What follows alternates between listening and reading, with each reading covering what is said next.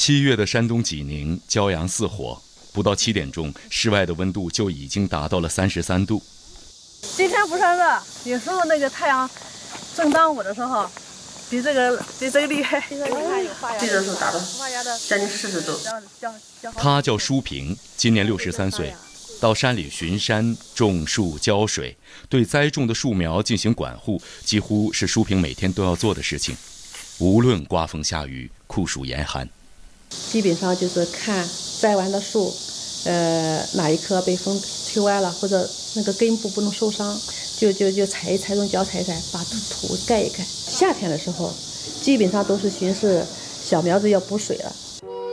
舒平每天都要围着曲阜市的九仙山走上一圈十公里的环山路，山高林密，舒平独自一人，已经这样走了七年。有时候上山的有点怯怯的，每天有累的时候，我就说：“哎，要是于娟在的话，老姐你歇着，我来。”保证是这样的。啊，其实一想这句话，马上来劲了，不累了。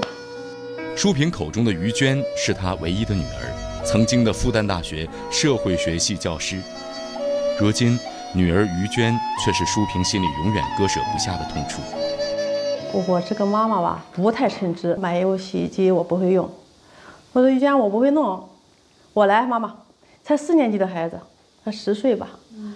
然后就说有什么事儿都是我来，妈妈。出去的时候有时候我们牵手，他在前，我在后。从小懂事阳光的于娟，一直是母亲舒萍的骄傲。三十年的人生里一路顺利，读书、考研、读博、公派挪威留学，她一路拼搏，忙着去追赶一个又一个目标。我以前就是想让自己的父母过得好一点，啊，想让孩子有一个好的教育，然后想换一所大一点的房子，想过得稍微舒服一点。然而，命运却跟于娟开了一个天大的玩笑。二零一零年一月，三十二岁的于娟被确诊为乳腺癌晚期。后来病了以后，你会发现，其实他们的快乐也不是说他们是不是能住大房子，也不是说他们是不是能到一个全球最好的早教中心里去怎么怎么样，而是说，是不是你是好好的。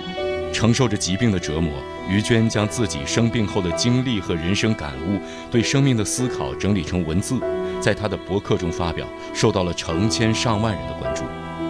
在生死临界点的时候，你会发现，任何的加班给自己太多的压力，买房买车的需求，这些都是浮云。如果有时间，好好陪陪你的孩子，把买车的钱给父母买双鞋子。不要拼命去换什么大房子，和相爱的人在一起，蜗居也温暖。